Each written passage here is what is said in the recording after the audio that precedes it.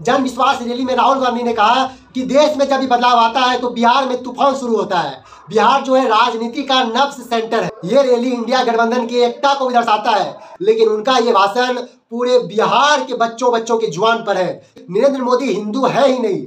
उनकी नफरत के बाज़ार में मैं मोहब्बत की दुकान खोल रहा हूँ। जिस तरह से उत्तर प्रदेश में अस्सी हराव का नारा दिया जा रहा है, उसी तरह बिहार के लोग भी चालीस हराव का नारा दे रहे हैं। जय दोस्तों, आज मैं इस वीडियो में बात करने वाला हूँ पटना के गांधी मैदान में हुए जन विश्वास रैली के बारे में दोस्तों। तेजस्वी यादव ने आह्वान किया था कि तीन मार्च को पटना चलो और गांधी मैदान में एक रैली का आयोजन किया गया था और इसका अपील लालू यादव ने किया था। दोस्तों, आपको बता दें कि लालू यादव ने इस रैली का अपील किया था। हालाँकि उनका तबीयत ठीक नहीं है, फिर भी लालू यादव ने यह अपील किया और लालू यादव तीन मार्च को जन विश्वास रैली के सभा में उपस्थित भी थे। आपको बता दें, इंडिया गठबंधन और जन विश्वास रैली को समर्थन देने के लिए गांधी मैदान पूरा खचाखच भर चुका था। अब मैं आग्रह कर... बहुत सारे लोग तो पेड़ के ऊपर चढ़कर रैली को देख रहे थे। आपको बता दें दोस्तों, अगर हमारे देश के प्रधानमंत्री नरेंद्र मोदी एक बार हाथ भी झुला देना तो न्यूज़ मीडिया में इसे लाइव टेलीकास्ट करके दिखाया जाता है। लेकिन इतना बड़ा रैली हुआ, इसे दबा दिया गया न्यूज़ मीडिया के द्वारा। तो दोस्तों, ये जन विश्वास रैली जो गांधी मैदान में हुआ, ये मादा रखता है भाजपा के सत्ता को उखाड़ कर फेंकने का। मैं आपको बताना चाहता हूँ दोस्तों, गांधी मैदान को एक बार जेपी के समय में भरा गया था तो इंदिरा गांधी आयरन लेडी का सत्ता डगमगा गया था। 2024 के चुनाव से पहले तेजस्वी यादव ने इस मैदान को भरा है। क्या बिहार में सुपड़ा साफ़ होने वाला है भाजपा का? ये रैली इंडिया गठबंधन की एकता को भी दर्शाता है। एक ही मंच पर मल्लिका अर्जुन खड़गे, राहुल गांधी, अखिलेश यादव, लालू यादव, तेजस्वी यादव और वामपंथी नेता सारे एक ही मंच पर शामिल थे। जैसे सभा स्टार्ट होता है तो तेजस्वी यादव भाषण देते हैं। और तेजस्वी यादव ने बहुत सारे भाषण दिए हैं, लेकिन उनका ये भाषण पूरे बिहार के बच्चों बच्चों के जुआन पर है, क्योंकि उन्होंने जो कहा है, वो काबिल तारीफ़ है। उनका भाषण आप एक बार ज़रूर सुनिएगा दोस्तों। मैं मैं कुछ क्लिप लगा दूँगा, आप देख लीजिएगा, लेकिन उनका पूरा भाषण आपको सुनना ज़रूरी है कि उन्होंने किन किन चीज़ों पर निशाना साधा है, उन्होंने अपने भाषण में क्या क्या कहा है। आप पहले उनका ये थोड़ा सा भाषण सुनिए। कोई फ़र्क नहीं पड़ने वाला है। लेकिन जनता को कहाँ से खरीदेंगे? जनता जवाब देगी। जवाब दीजिएगा ना। कुछ लोग डर के कारण, कुछ लोग लालच के कारण घुटने टेकते हैं मोदी जी के आगे, भाजपा के आगे। लेकिन मुझे गर्व है अपने पिता पर कि कितने बड़े से बड़ी भी विपदा आई, कितना भी डराया गया कितना भी कोशिश किया झुकाने का, लेकिन हमारे पिता ने लड़ने का काम किया, कभी झुके नहीं, कभी डरे नहीं। कल आए थे प्रधानमंत्री जी, बोल रहे थे हमारे पिता के बारे में, हमको इनडायरेक्ट बोले कि अपने पिता का नाम क्यों नहीं लेता है, अपने पिता का काम क्यों नहीं गिनाता है। मोदी जी, थोड़ा कान खोल के सुनिए आज। इसी बिहार की धरती से हम बोल रहे हैं। कल आपने बोला, आज उसका जवाब देने हम आए हैं। चश्मा साफ़ कर लीजिए। खोल के ये नज़ारा देखो। जन सैलाब है। मोदी जी, जरा बताइए, नब्बे हज़ार करोड़ का मुनाफा यूपीए वन में हुआ था। लालू जी ने ऐतिहासिक काम किया। आज तक रेलवे को मुनाफा नहीं हुआ था। लालू जी ने नब्बे हज़ार करोड़ का मुनाफा भारतीय रेल को दिया था। थोड़ा आप बता दें, आपने दस साल में कितना मुनाफा दिया? जनता को दिया, रेलवे को दिया या पूंजीपति को दिया? किसको दिया? रेलवे का निजीकरण कर दिया। अब बात करते हैं कि लालू जी ने क्या किया। जितना कूली भाई था सबको नौकरी देने का काम किया परमानेंट करने का काम किया। आपने कितना कुली भाई को क्या किया? जरा वो बता के लिखिए। तेजस्वी यादव ने अपने भाषण में सत्रह महीने में किए गए कामों को गिनाया उन्होंने कहा, मैंने इसी मैदान से पाँच लाख रोज़गार दिया है। उन्होंने कहा, यहाँ पर कल नरेंद्र मोदी आए थे और हमारे पिताजी पर निशाना साध रहे थे। तो तेजस्वी यादव ने अपने पिताजी के बारे में कहा, लालू यादव नहीं झुका तो उसका बेटा भी नहीं झुकेगा। और उन्होंने ये भी कहा कि लालू यादव ने रेलवे को नब्बे हज़ार करोड़ का मुनाफा दिया।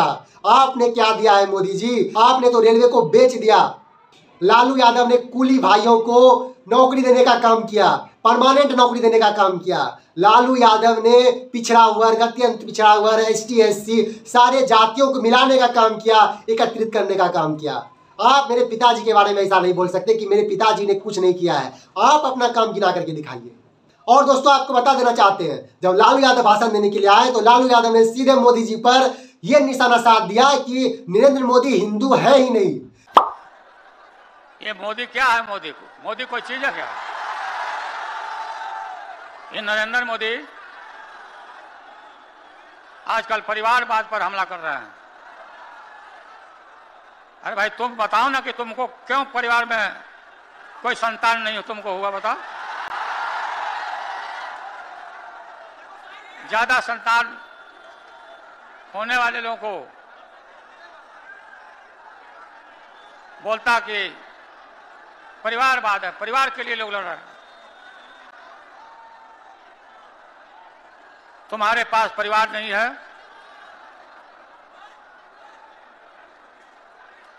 और तुम्हारी माता जी जब, और तुम हिंदू भी नहीं है तुम्हारी माता जी का जब जब आसान हो गया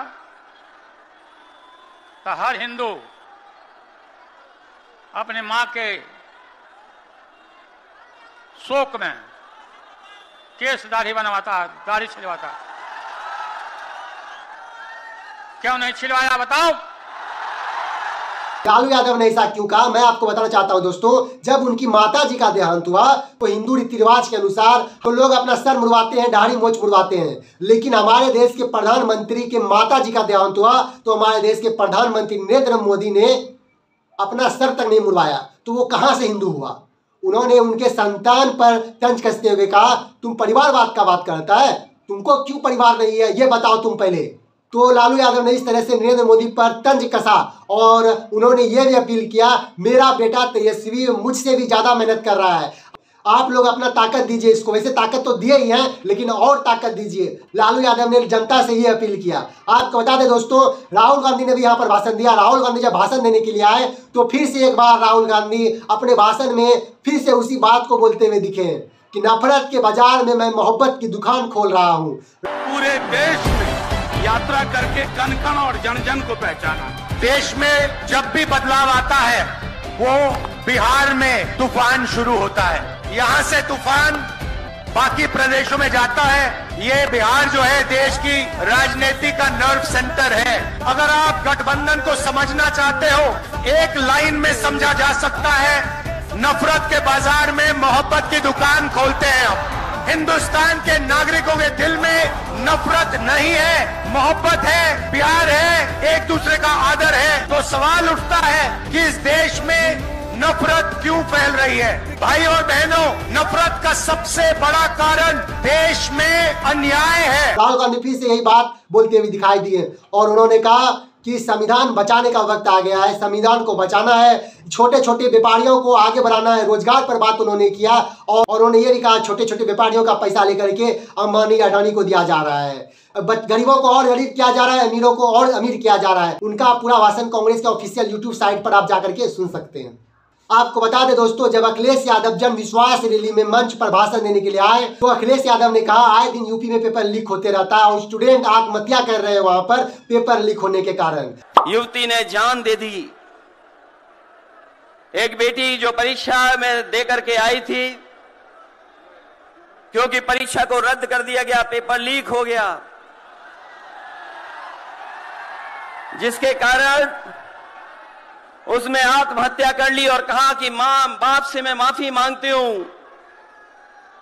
यह उत्तर प्रदेश में एक घटना नहीं हुई है। उससे पहले भी कई नौजवानों ने जिनको नौकरी नहीं मिली,